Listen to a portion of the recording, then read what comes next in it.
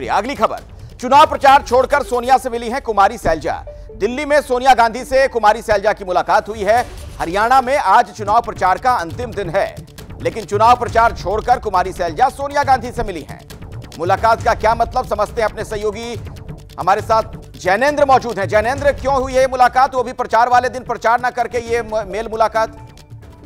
वाकई बहुत दिलचस्प ये बैठक हुई है अखिलेश। हालाँकि बैठक सोनिया गांधी और शैलजा के बीच हुई है तो बैठक की डिटेल सामने नहीं आ पाई है कि आखिर किस वजह से शैलजा ने ये मुलाकात की है। शैलजा ने मीडिया से बात नहीं की, लेकिन आज चुनाव प्रचार का आखिरी दिन है, जैसा आप बता रहे हैं। तो तमाम जो बड़े नेता हैं कांग्रेस के, प्रदेश के राष्ट्रीय वो आज प्रचार में है। राहुल गांधी की भी दो सभाएँ हैं, लेकिन इन सबके बीच चुनाव प्रचार के आखिरी दिन, शैलजा का दस जनपद पहुंचकर सोनिया गांधी से मिलना बहुत अहम है, क्योंकि पूरे चुनाव के दौरान हरियाणा में हमने देखा कि कुमारी सैलजा की जो नाराज़गी है टिकट डिस्ट्रीब्यूशन के में अपनी उपेक्षा का, खुद टिकट ना मिलने का वो एक केंद्रीय विषय बना रहा चर्चा का। बीजेपी ने भी इसको लेकर कांग्रेस को घेरा और कांग्रेस से लगातार ये सवाल पूछे जाते रहे हुड्डा और शैलजा के बीच जो खाई है।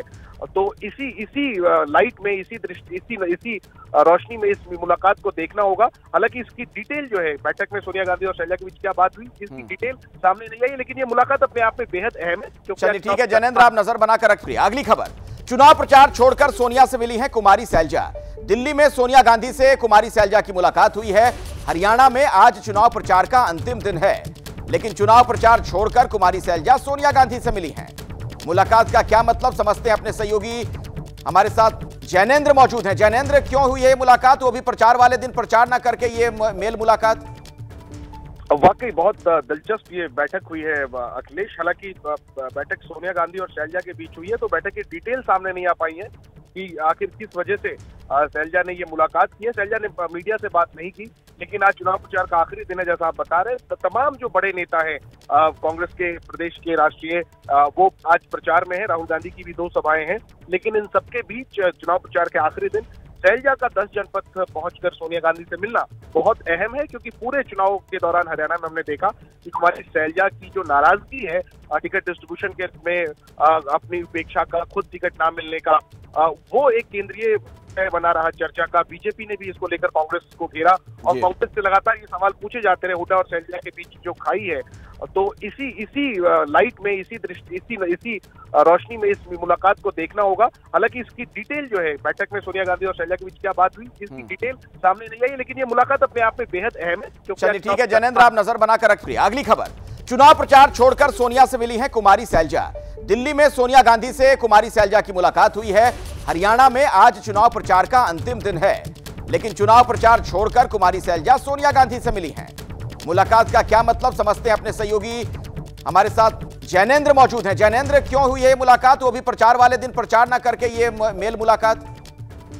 वाकई बहुत दिलचस्प ये बैठक हुई है अखिलेश। हालाँकि बैठक सोनिया गांधी और शैलजा के बीच हुई है तो बैठक की डिटेल सामने नहीं आ पाई है।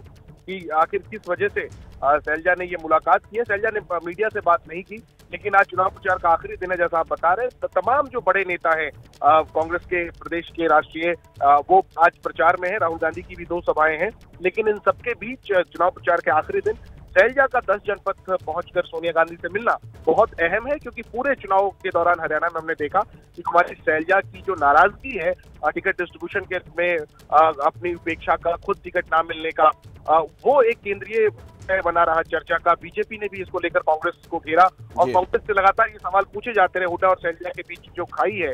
तो इसी इसी लाइट में इसी दृष्टि इसी इसी रोशनी में इस मुलाकात को देखना होगा। हालाँकि इसकी डिटेल जो है बैठक में सोनिया गांधी और शैलजा के बीच क्या बात हुई इसकी हम्म। डिटेल सामने नहीं आई लेकिन ये मुलाकात अपने आप में बेहद अहम है क्योंकि ठीक है जैनेन्द्र आप नज़र बनाकर